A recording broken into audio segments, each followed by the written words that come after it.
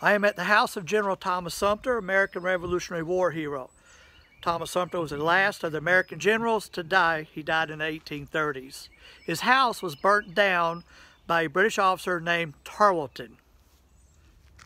Probably no more than 2,000 feet away is a road named after Tarleton.